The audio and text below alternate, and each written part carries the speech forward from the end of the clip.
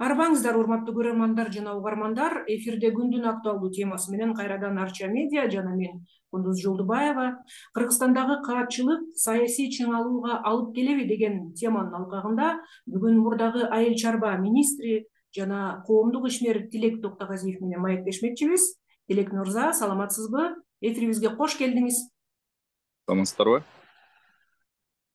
тилек мырза кыргызстанда каатчылык күндөн күнгө күчөп жатат азык түлүк эки эсе кымбаттады. Бирок ошол эле убакта айлык акынын айлык акы өскөн жок. Э, улуттук статистика комитетинин маалыматына ылайык э, кыргызстанда ар бир үчүнчү адам жакырчылыктын чегинен төмөн жашайт. Ал эми эки миллион эки жүз кырк төрт адам өтө жакыр жашоо сүрүп жатыптыр да.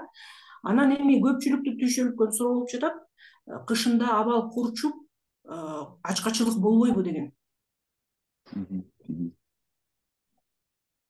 Албетте эми азыркы учурда эң чоң көйгөйдүн бири бул кымбатчылык болуп атат ага чейин деле мына түрлүү институттар дагы өзүнүн изилдөөлөрүн жүргүзгөндө социалдык изилдөөлөрдү жүргүзгөндө эл ушул кымбатчылыкты эң бир чоң көйгөйлөрдүн арасына көрүп атат да.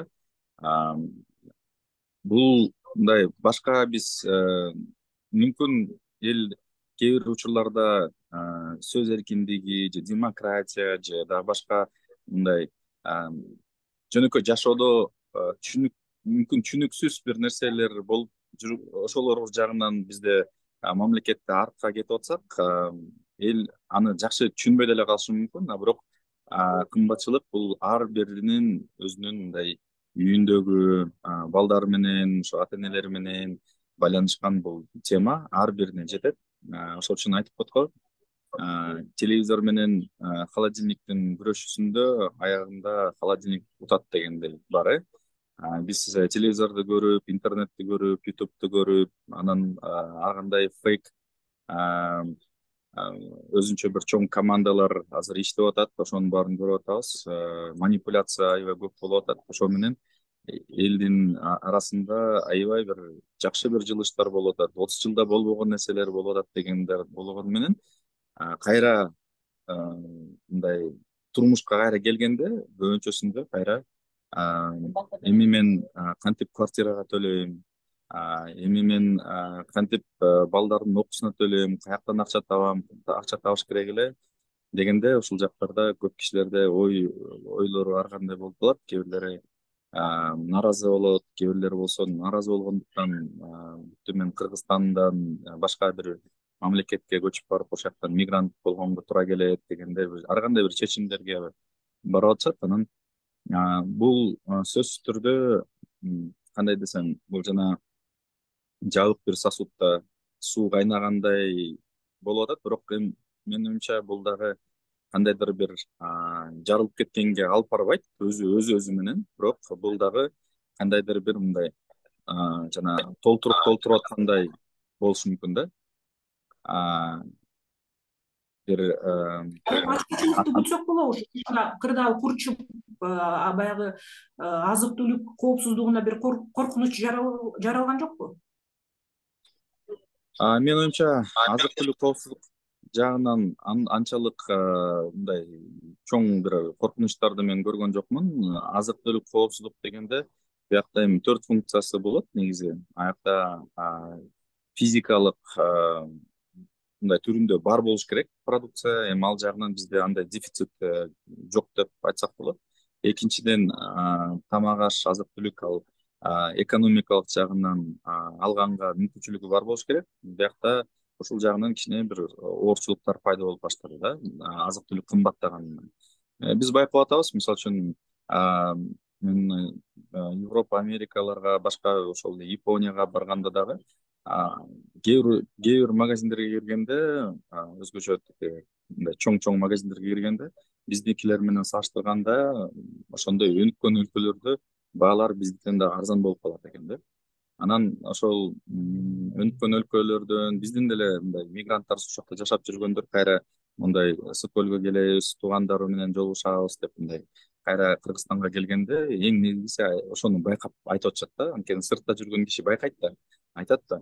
Кантип жашап атасыңар? Мен силердин мындай кантип э, ушундай баалар менен кантип жашап атканыңарды түшүнбөй атам деп айтышат да. Анан кайра эле айткандай эми көп бизде баарыбыз билебиз мындай бирден үчтөн бир бөлүгү жалпы дүң продукциянын бул ошол мигранттарыбыздын которгондору да болуп калат да ошол эле кайра эле мигранттарыбыз өзүнүн туугандарына акчаларды жөнөтүп атып канча жылдан бери ушул социалдык кризисти социалдык экономикалык кризисти жумшартып берип атат да эгерде мигранттарыбыз бар болбосо анда менин оюмча бул аябай эле орчундуу маселеге айланып калат андан тышкары дагы эми жана азык түлүк коопсуздугунун дагы башка кандайдыр бир функциялары бар. Ошонун ичинде ал сапаттуу болуш керек анан ден соолукка эч кандай бир зыян алып келбеш керек дегендей бар. Анан ал жагынан менин оюмча бизде жалпы алганда азык түлүк коопсуздук бул чоң мындай коркунучтарды качан гана физикалык деңгээлде мындай жок болуп калса полкаларда жок болуп кыргызстанда жок болуп калса анда бул аябай чоң коркунучка алып келиши мүмкүн да. Бизде эми андай коркунучтар жок деп эсептейм.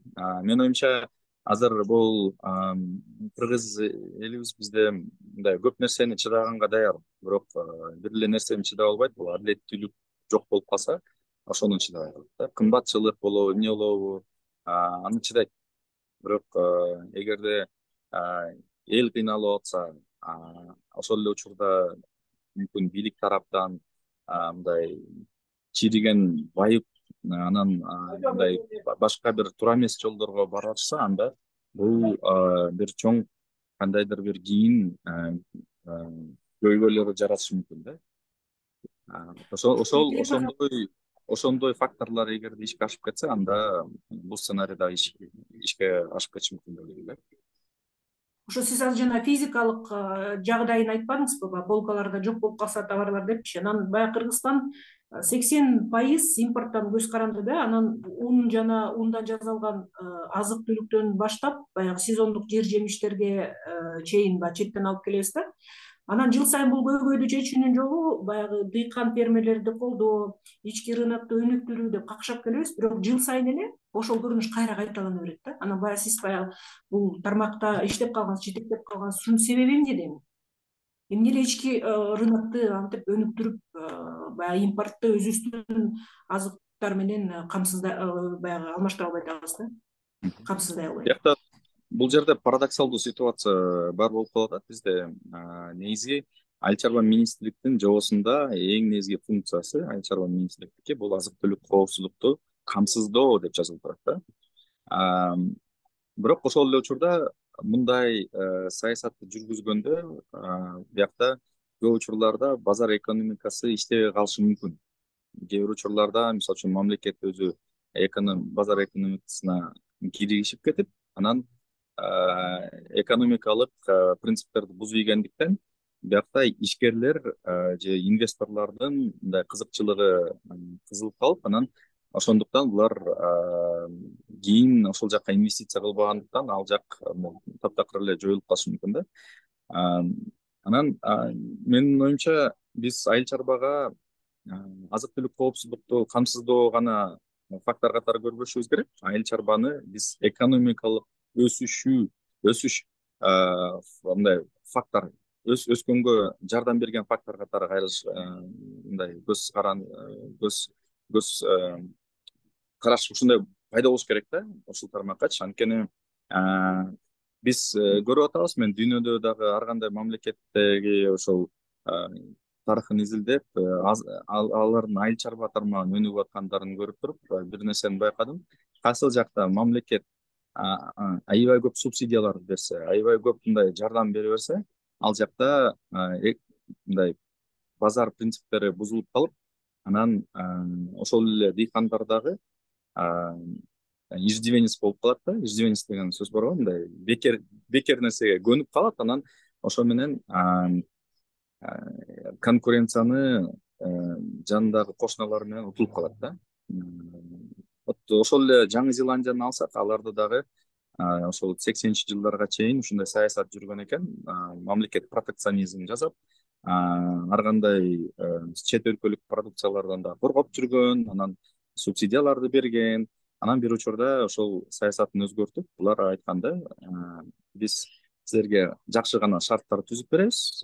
Бирок мындай бекер нерселер болбойт деген да силер өзүңөрдүн нишаларыңарды тандап алгыла анан дүйнөлүк нишаларды ээлеп ошол жактан лидерге айлангыла дегенден кийин анан ооба биринчи мындай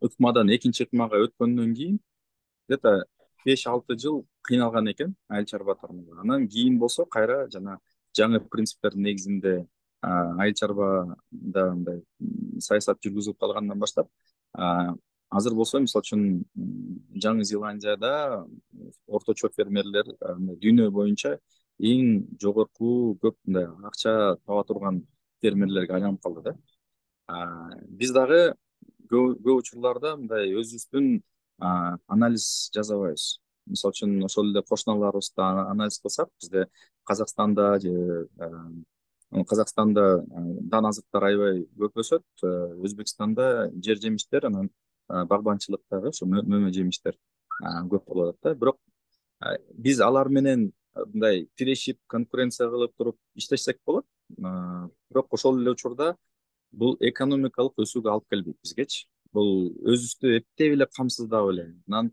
аларда мисалы үчүн казакстандын талааларын алгыла алар бир жагына бир канча километр кете берет анан аякта эффект масштаба деп коет да. Чоң масштаб болгондуктан өздүк баасы дагы товардын арзаныраак болуп калат биз болсо аны жылда мындай мамлекеттик субсидияларды кериктире берип кетире берип бул жөн эле акчаны күйгүзгөнгө барабар болуп калат да. Ошол үчүн биз подходду өзгөртүп өзүбүздүн нишаларыбызды тандап алышыбыз керек. Биякта мисалы үчүн биз жакында ошо былтыр декабрда мөмө ассоциацияны түзгөнбүз бул ошо клубника малина башка ушундай ягодалар тармагындачы мисалы үчүн биз өзүбүз үчүн ошондой чечим чыгардык да. Ушул нишада мисалы үчүн биз регионалдык лидерге айланганга мүмкүнчүлүгүбүз бар.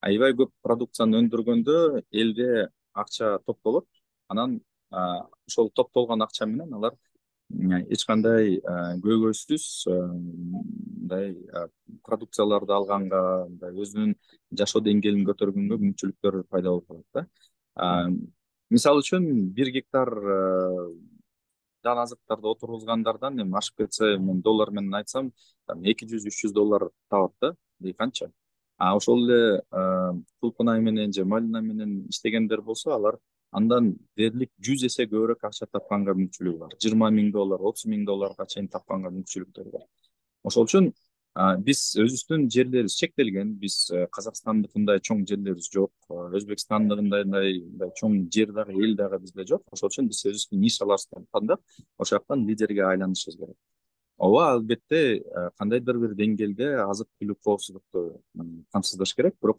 ошол эле учурда азык түлүк коопсуздукту түрлүү жолдор менен камсыздаса болот биякта мисалы үчүн трейдерлерди трейдерлерге жакшы шарттарды түзүп берип койсо эле мисалы үчүн мындай дубайга окшогон же сингапурга окшогон мамлекеттерди алайлы же ошол эле японияны алайлы эми аларда өздөрүнүн өздөрү камсызданганга мүмкүнчүлүктөрү жок. Бирок дайыма азык түлүк коопсуздугу мындай жүз пайызга камсыздалган. Эмне үчүн? Анткени аларда трейдерлер көп. Алар алдын ала дүйнө жүзү боюнча соодалар жүргүзө берет анан эгерде кризис бирдеме болуп калса ошол потокторду өздөрүнүн мамлекетине жүргүзүп коет кайра салып коет да ал дайыма жүз пайыз өзүнүн мамлекетин өзүнүн элин камсыздаганга мүмкүнчүлүктөрү бар. Бул жактан дагы биз албетте кандайдыр бир деңгээлде кандайдыр бир жана сиз айтып атпайсызбы сексен пайыздан ашык бул сырттан келет дегенчи эми баары боюнча эмес. Ал биз мындай ар бир продукцияны өзүнчө бөлүп чыгышыбыз керек да. Дан азыктарда андай болушу мүмкүн бирок калган тармактарда эми ар кандай. Мисалы үчүн ошол эле биз картошканы алсак картошкада биз өзүбүздү жүз пайыз камсыздайбыз андан тышкары дагы экспортко кетет. Ошол эле фасольду алганда фасоль дагы өзүбүздү камсыздайбыз андан тышкары дагы бул экспортный продукт да. Ошол эле дагы мындай сүт азыктарды алганда дагы биз өзүбүздү жүз пайыз камсыздайбыз андан ашыгын биз экспортко чыгарабыз да. Бирок жалпы биз азыр байкап атабыз кыргызстанда мындай кымбатчылык эмнеден бул кымбатчылык инфляция дагы болуп атат азыркы өкмөт көпчүлүктүн саясаты жана мамлекеттик кызматкерлердин дагы айлыктарын искусственно көтөрүп экономика анчалык деңгээлде өспөсө дагы бирок искусственно көтөргөндүктөн бул инфляцияны инфляцияны мындай дагы жаңы деңгээлге көтөрүп эле ишкерлер дагы айла жоктугунан мисалы үчүн канчалык бир деңгээлде айлыктарды көтөргөнгө туура келет аларга дагы анан ишкерлер айлыкты көтөргөн үчүн өзүнүн чыгарган продукциянын баасын дагы көтөргөнгө туура келет. Анан ушинтип атып айлыктар көтөрүлгөнү менен сатылып аткан продукциянын баасы дагы көтөрүлүп атып эле анан бул жашоонун мындай кымбатчылыгы айланып айланып жаңы деңгээлге чыгып кете берет да. Ошол үчүн биякта мындай мамлекет тарабынан өкмөт тарабынан өзүнүн саясатын кайра башкачараак карап чыгыш керек деп ойлойм. Бул мен түшүнгөнүм боюнча бул азыр мындай кенсианский бир модель колдонулуп атат. Кенсианский бир мектеп школа деп койсок болот экономический школа бизге учурунда мисалы үчүн америкада дагы рейгандын учурунда регономика деген бир түшүнүк бар болгон. Ошол ошол модельди дагы биз азыр карашыбыз керек го деп ойлойм да. Бизге экономикалык саясатты кичине мындай жакшылап анализ кылып көрүп анан ошонун негизинде бир кандайдыр бир чечимдер чыгаш керек деп ойлойм түшүнүктүү сонун жооп болду. Анан азыр дагы бир маселеге көңүлүңүздү бурсак быйыл баягы суу тартыштыгы дагы коомчулукта бир талаштарды жаратууда да ошол эле орто токой суу сактагычынын абалы көпчүлүктүн көңүлүн буруп Э, даже керек болсо ушу социалдык тармактарда эки жаатка бөлүнүп жатып калышты айрымдары суу сатып ичти деп атса айрым жанагы ушу мамлекеттик органдардын өкүлдөрү суу топтолуп эле жыл сайын эле колдонулуп ушул көрүнүш деп жатышат азыр бир кыска бир тасманы көрсөк көңүлүңүздөр бурса июнда келип тартып кеткем июндун он он бештеринде келип тартканда суу деген могу ушул аймакта болчу. Анан бир айдын ичинде бул орто токой солуп калыптыр да. Эми бул жерден суроо туулат да. Орто токойдун суусу каяка кетип атат? Биз сиздерге орто токой суу сактагычын соолуп баратканын чагылдырып бердик. Бирок мынчалык көлөмдөгү суу кайда агып жатканын тактоо үчүн айыл чарба министрлигине бир топ суроолор менен кайрылдык. Айыл чарба министрлиги казакстанга берилген э, суунун көлөмү тууралуу маалымат берди. Суу ресурстар кызматынын башчысы алмаз сокеевдин комментарийине көңүлүн бурсак андан кийин анан суроом болсун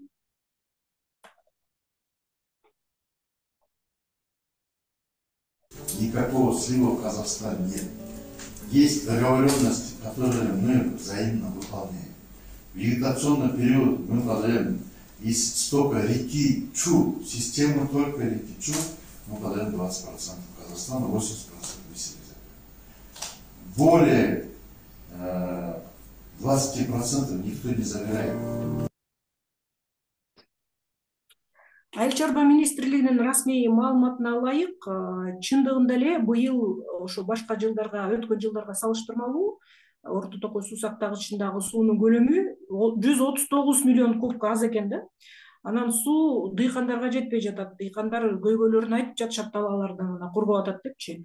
Ушул жалгыз сиздин оюңузча жалгыз эле бул климаттык шарттардан көз карандыбы же дагы башка себептери барбы? Же сууну туура эмес колдонуп жатабызбы балким негизи бул жерде мамлекеттик башкаруу саясатында ошол суу суунун суу ресурстары менен башкаруу саясатында бизге бир эле нерсе жетишпейт да бул ачык айкын өзүнүн ишин жүргүзгөн жагын мунун баарын эгерде санариптештирүү иштерин жүргүзсө ар бир каналдарында ар бир аккан сууларында ошонун баары канчалык азыркы учурда онлайн азыркы учурда канчалык деңгээлде суу келип атат деген боюнча маалымат нон стоп берилип турса анда бул объективдүү маалымат болмок эле да? Мен ушул алмазбек сокеев менен дагы бул боюнча дагы сүйлөшкөн болчумун. Анан бул бир эле нерсе да биякта муну санариптештириш керек. Анан объективдүү маалыматты гана бериш керек. Анан дальше биякта эми жана презумпция невиновности деп коет го эми биз ушундай маалымат жетишпегендиктен эки тарап ар кандай маалыматты айтышы мүмкүн бирөө айтат ооба сатып атат бирөө мындай жөн эле жок кылып атат дейт бирөөсү болсо айтат жок биз баарын сарын жалдуу иштетип атабыз дейт бул суроолор мындай бири бири менен карама каршы ойлор дайыма болот эгерде биз объективдүү бир системаны коюп коймоюнча ушун дайыма боло берет да кийинкиси биз бирок жалпы суу ресурстар боюнча биз өзүбүздүн мамлекеттик саясатында дагы жакшы бир иштерди аткарышыбыз керек. Биякта ошол эле жана тамчылатып сугаруу системаларды интенсивдүү формада сууну мындай жакшы туура пайдалангандай технологияларды алып келишибиз керек. Ошолорго шарт түзүшүбүз керек да бул боюнча мен азыр чын айтсам мындай өзүм үчүн мындай чоң мамлекеттик деңгээлде болобу же глобалдык деңгээлде болобу кандайдыр бир маселелерди түшүнөм эмне болуп аткандарын түшүнөм бирок ошол эле учурда аяка энергияны аяка мындай реакция кылгандан чарчап калдым чын айтсам анан азыр өзүбүз бир эле тармакты алып ошол мм ассоциацияны алып туруп ошонун алкагында ошонун ичинде эгерде биздин дыйкандарыбызда кандайдыр бир көйгөйлөр бар болуп атса ошону чечкенге биз аракет кылып атабыз да. Бирок бул модель кийин башка тармактарга дагы мультипликация болуп кетиши мүмкүн.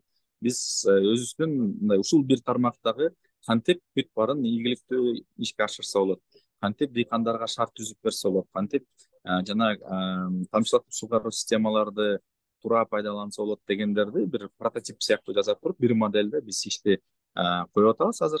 Анан ошол менен башка секторлорго дагы ошол мындай жайылтайлы деген ниетибиз бар да.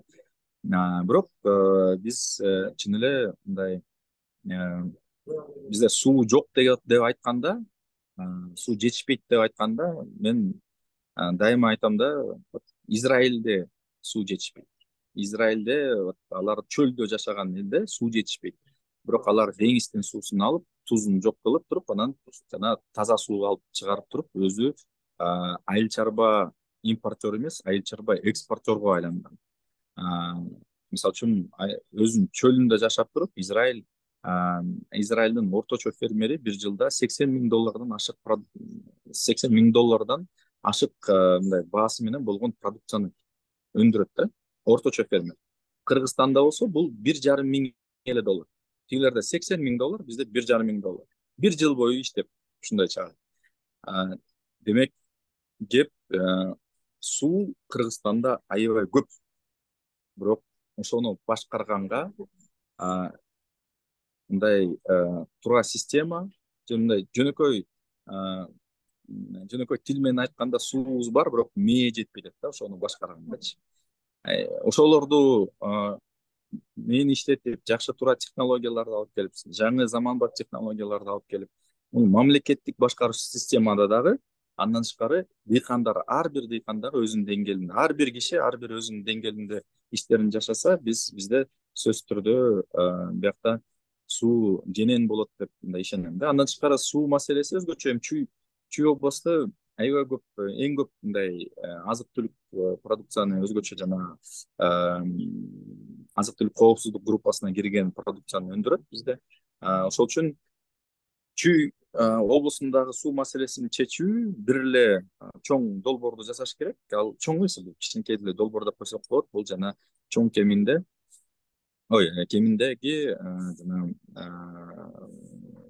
жүгөрүлөр сатылган жак бар го мындай развилка эки жака кетет ошол жактан баштап очк эки деген каналды салыш керек. Ал где то он беш жарым километр канал эмне үчүн салыш керек? Анткени жылда үч жүз миллион куб суу үч жүз миллион тонна суу десек болот жердин астынан сиңип кетет анан ошол жактан биз жогото алып атабыз да эгерде бул канал салынса жана западный бчкга бизде суунун көлөмү эки жарым эсе көбөйөт э тиги панфиловский район московский район жайылский райондорго чейин суу кенен жеткенге мүмкүнчүлүк пайда болот эле да. Мен бул теманы эки миң жыйырма биринчи жылы дагы министрликте иштеп жүргөндө дагы көтөргөм. Ушул долбоорду биз ушул жылдын аягына чейин бүтүрүшүбүз керек деп кандайдыр бир мындай эл аралык деңгээлде тоскоолдуктар болуп атса дагы ички тоскоолдуктар болуп атса дагы бул принципке коюп туруп бул маселени аягына чейин чыгарыш керек да. Анда бул ушул кичинекей бир долбоор жалпы бир облустун жалпы эле кыргызстандын көйгөйүн суу боюнча көйгөйүн чечкенге аябай жакшы түрткү берет эле да. Айтып коет го жанагы паретонун жыйырма пайыз бир ишти жасасаң сексен пайыз результат болот дегендейчи бул очк канал бул даже андан дагы эки эле пайыз ишти жасасаң токсон сегиз пайыз результат бере турган тармак да ушул ушул бир долбоор анан кийин дагы эсимде бар. Жыйырма экинчи жылы болуш керек. Сиздер дагы интернеттен карап көрсөңүздөр. Акылбек жапаров садыр жапаров акылбек жапаровдон да сураган очк эки ушул долбоор бар турбайбы эмне болуп атат кандай жылыш болот? дегенде ал дагы айткан эле да жыйырма экинчи жылдын аягына чейин бул канал салынат деп айтты эле. Мунун баары жаңылыктарда бар. Бирок мына жыйырма үчүнчү жылдын экинчи бөлүгүнө өтүп баратабыз салына тургандын жыты дагы жок салыныш керек. Ал ал салынып ал эми илтеген мамлекет үчүн он беш жарым километр каналды салыш деген бул маселе эмес керек болсо муну ашар жол менен деле элди чогултуп илгерки ол бүт бчкалардын баарын төрт жүз километрден ашык жерди каналдын баарын ашар жол менен карапайым эл эле салып койгон экен да. Бул он беш жарым километрди биз азыркы технологиялар менен азыркы техникалар менен азыркы мүмкүнчүлүктөр менен эмне салып албайбызбы бияктан салганга мүмкүнчүлүктөрүбүз бар ушул ушул маселени биз мындай повесткага эң биринчи кылып киргизсек анда суу маселеси өзгөчө чүй облус боюнча дароо жакшы мындай деңгээлге чыгып мындай чечилмек эле да. Ошо дагы бир ушу жанагы сууну туура колдонуш керек баягы жаңы системаны киргизиш керек деп атпайбызбы анан быйыл баягы токтогул суу сактагычындагы суунун деңгээлин деңгээли дагы төмөн да биринчи августтан баштап ушул жылдын дээрлик эки миң жыйырма алтынчы жылга чейин энергетика тармагында өзгөчө кырдаал режими киргизилди. Бирок ошол эле убакта мына өлкөнүн аймагында ири майнинг фермалары иштеп жатканы маалым болду. Дагы да ошо камбарак эки кесинде дагы кесине дагы туташып э, дагы бир ири майнинг фермага уруксат берүү сүйлөшүүлөр жүрүп жатты. Анан эми элге калкка жетпей жаткан электр энергияны ушул багытта сарптоо канчалык деңгээлде туура болот да бул дагы вот ушул жакта мен жана айтпадым беле кыргыз элибиз э, көп кыйынчылыктарга чыдаганга даяр. Бирок адилетсиздик жок болсо адилеттүүлүк жок болсо ошону чыдабайт дегендейчи мен ушул энергетика тармакта ошол менен чогуу биргеликте суу маселеси дагы байланышкан анткени биз гидроэлектр ресурстар станциялар аркылуу суу мындай суу дагы кетет анан энергияны дагы ошол жактан алып атабыз да ушул жакта маселе кийин аябай орчуңдууга айланып кетиши мүмкүн бул кандайдыр бир деңгээлде саясий кризиске алып келиши мүмкүн анткени эл баары түшүнүп атат биякта бийликке жакын адамдар туруп алып майнинг компанияларды ачып атыптыр ар кайсы жактарга стратегиялык объекттердин жандарын коюп алыптыр ошол эле учурда биздин азыркы мындай ар бир үйдө мисалы үчүн бизде деле счетчик жагында өзүнчө бир чектөөсү бар. Бир канча киловаттан ашып кетсе счетчик өчүрүп коет эмнеге мен жаран катары ошого электр энергияга акчаны төлөп аткан жаран катары мына кардар катары төлөсөм дагы бирок мен кандайдыр бир чектөөгө дуушар болушум керек. А тияктагы мындай мен жаранмын. Биз ар баарыбыз мына жаранбыз э. Жаран катары ар бир кыргызстанда жаран ошондой чектөөлөргө дуушар болуп атабыз а ошол ошол эле учурда жанакындай бийликке жакын адамдар компанияларды ачып коюп туруп жана майнингдер аркылуу биздин чек биз чектелип атсак алар чексиз ошол электр энергияларын пайдаланып анан кышында дагы жайында дагы биз ар кандайдыр бир чектөөлөргө чектөөлөр биз мындай чектөөлөр менен жашап калдык да. Бул билинбеген менен аябай катуу мындай ар бир адамдын психологиясына дагы согот го деп ойлойм да анткени жана үйдө чектелип турса дагы дайыма и могу көбүрөөк бир кетип калбаса экен деп эле мындай кызы берет да бул дагычы кандайдыр бир деңгээлде адамды кызат ар бир адам ичинен муну сезет өзүнүн мындай жоон тери менен сезет анан ошол өзү кызылып атканды сезип туруп биякта бирөөлөр жыргап жүргөндү жыргап пайдаланып байып аткандарды көргөндө бул адилетсиздик жок адилетсиздик болуп аткандыгын көрүп туруп анан ошол мындай ички ар бир адамдын нааразычылыгын жаратышы мүмкүн да. Ошол үчүн бияктан менимче өкмөт тарап президент деле баягы эме боюнча ошол майнинг фермалар боюнча өзү дагы айтып мындай фактически бул бүт маалыматы бар экенин дагы билдик кандайдыр бир деңгээлде анын уруксаты менен баары жасалганды билдик бул мындай жол деген акылсыздык жөнүндө айтсак болот да анткени мамлекеттик система мамлекет биринчи кезекте өзүнүн жарандары жөнүндө жарандардын мындай жоопкерчилигин алыш керек жарандары үчүнчү жарандардын жашоо шарты жакшы болуш керек. Ооба мүмкүнчүлүк барбы ошол инвестор майнинг менен иштегендер макул. Толтура дагы гэстерди салсын. Бирок азыркы бизге берилип аткан ар бир эл биринчи камсыз болгондон кийин гана анан ашып ташып аткандарды пожалуйста майнинг жаза бергиле деш керек а бирок өзүбүздү чектеп туруп жанакындай өзгөчө кырдаал режимди киргизип туруп биз мындай ошол эле учурда мындай жана эки тарапта эки башка шарттар болуп атканда бул мындай бирок булар үчүн биз үчүн эрежелер иштейт мыйзам иштейт. Булар үчүн мыйзамдар иштебейт дегендей бир түшүнүк пайда болуп кала берет да. Бул өтө туура эмес. Бул өтө мындай жоопкерчиликсиз бир өзүнүн элине мамиле деп айтсам болот. Тилек мырза ошол эле учурда биз мына э, айтып атабыз э, кымбатчылык болуп атат деп айрым э, мына эки миллиондон ашык адам жакырчылык жакырчылыкта жашап атат деп атабыз. Бирок ошол эле убакта биз байкап атабыз айрым баягы калктын катмары жакшы жашап керек болсо байып баягы акыркы үлгүдөгү автокело минип жүрүшөт да анан мына азыркы адилетсиздик жөнүндө айтып атабыз. Ошол эле энергетикадагы кырдаал э, кымбатчылык тарифтердин өсүшү налогтордун өсүшү акыры алып келип ошо э, саясий жана социалдык чыңалууну жаратпайбы бул эми убакытта? Убакыт деле дело времени деп коет го ошо албетте бул баары мындай толуп толуп толуп толтуруп бир күнү жана жара толгондой эле анан бир күнү жара жарылгандай дагы бул факторлор толтуруп атат да бирок кайра эле мен айтып атам биздин элибиз аябай сабырдуу аябай кечке унчукпай отура берет отура берет отура берет анан таптакыр эле бийлик эгерде муну туура түшүнбөсө эгерде мындай өзү башка бир кандайдыр бирсең бир башка ааламга учуп кетишсе башка башкасы башка өзүнүн бир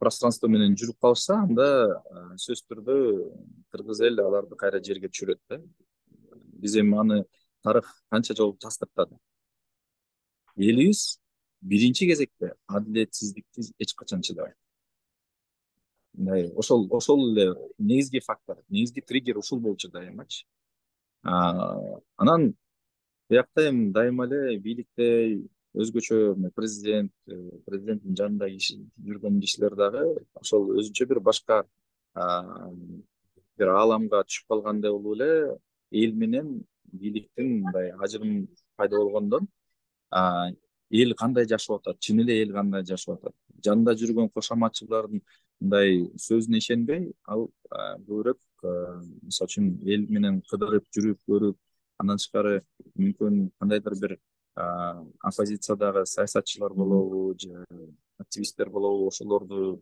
кызбай аларды кайра кайра түрмөгө отургуздурбай наоборот алар менен диалог өткүзүп туруп анан ошонун негизинде ишти жүргүзсө бул аябай туруктуу жол болмок эле күчтүү адам эч качан мындай башкалардан коркпойт. Күчтүү адам күчтүү лидер дайыма мындай элди бириктирет да бөлбөйт жарбайт мына силер душман десеңер деп айтпайт күчтүү адам дайыма лидер болот лидер дайыма элди бириктирет өзүнүн алдында өзүнүн мындай чоң бир идеянын алдында элди бириктирет да. Менин оюмча биякта ошол сөзсүз түрдө мындай жанакы мен деле өкмөттө иштеп жүргөндө өзүм үчүн дайыма мындай принцип катары кармап жүрчүмүн кандайдыр бир деңгээлде бир прививка өзүмө санайт ушун керек экен депчи анткени мындай жанагы ажыдарга айланып кетпешим керек экен элден алыс кетпешим керек экен деп эсиңерде бар болуш керек мен дагы тиги эч кимге айтпай эч ким билген эмес министрликте да эч ким билген эмес атайын базарга барып шапка маскаларды кийип алып туруп кыдырып баалар кандай болуп атат эмне болуп атат и бир жаш бир министр келиптир малды чыгарбоо боюнча чектөөлөрдү киргизип салыптыр силердин бизнесиңер алынан жаман болуп кеткен жокпу дегенде эл мындай кадимкидей мени тааныбай баарын анткени мындай эле көзүм эле көрүнчү эчтеке калган баары маска менен ал кезде масочный режим бар эмес беле ошондо алып ушинтип жапканда эл мындай реальный ойлорун көрүп түшүнүп турдум да мындай жана держать руку на пульсе деп коет го түшүнүп турдум. Анткени жанында жүргөн киши. Канчалык деңгээлде ишенбесең дагы эң жакын адам болсо дагы ал сага бир иллюзия иллюзияны мындай жарыялап силерге берип коюшу мүмкүн да. Анан сен ошо иллюзия менен жашап эле анан жалган көбө берет көбө берет көбө берет анан сен бир учурда өзүңдү ушунчалык бир чоң ушунчалык бир миссия катары көрүп каласың. Анан ошо менен башың айланып туруп элден ажырым аябай көбөйүп кетет экен да. Ошол үчүн биякта мындай жанында жүргөн кишилерге ишенсе дагы бирок текшерип туруш керек дегенде көрүп жүрүп мисалы үчүн ошондо эле биз мал боюнча айтайынчы биз чектөөнү киргизгенде азык түлүк ситуация кандай болуп кетти эле да? Биз этке чектөө киргизген эмеспиз этти сата бергиле экспортко кете берсин бирок мал түрүндө чыкпасын дегенбиз да? Анткени мал деген бул чийки зат. Биз болсо жаңы концепцияны эске алып экспортко биз чийки зат эмес биринчи кезекте кайра иштетилген продукция сатылыш керек дегенде бул мисалы үчүн эт деген уже эт комбинатка малды киргизет аяктан союлат уже бул эт деген уже кандайдыр бир деңгээлде иштетип кайра иштетилген продукция. Өзүнүн кошумча наркы кошулганы менен келет дегенбиз биз учурунда эсимде бар тиги анализ кылганда иранда ушундай көйгөй жаралыптыр да.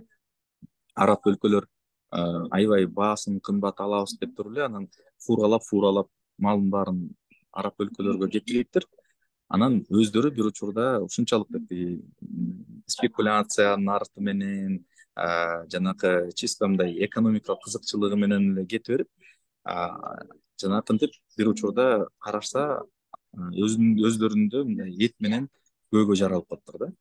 Анан айла жоктугунан алар ушул азык түлүк коопсуздукту камсыздаш үчүн малды самолет менен башка өлкөлөрдөн ташып калыптыр анын ичинде кыргызстандан дагы малды ташып калышкан да иранга.